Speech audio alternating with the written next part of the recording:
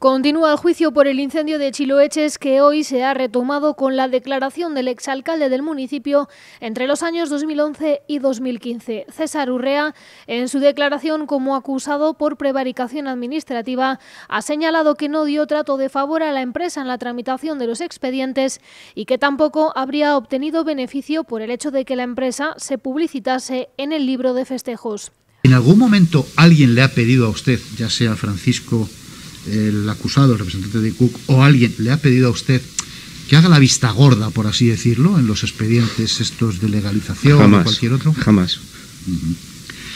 ¿Ha recibido a usted algún tipo de, aportación, alguna cantidad, algún tipo de prebenda por, por dejar de hacer algo allí en el ayuntamiento en relación con estos expedientes? Igual, jamás. Yo no, no he percibido nunca jamás nada.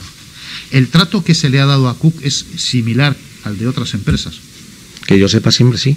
El segundo en declarar era el representante de Cook Medio Ambiente como director gerente, Francisco Fernández García, por su parte, desmentía también tener algún trato de favor por parte del entonces alcalde César Urrea.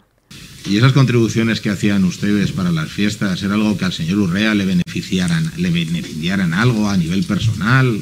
De ninguna manera, de hecho no, ni se le entregaban a él, o sea, eran transferencias y eran contribuciones que se hacían al ayuntamiento como cualquier otra empresa del polígono. Estamos hablando de 20.000 euros, 50.000 euros o de 300 euros, 400 euros. 200, 300, según lo que pudiésemos. Y en un periodo muy concreto que íbamos más o menos bien.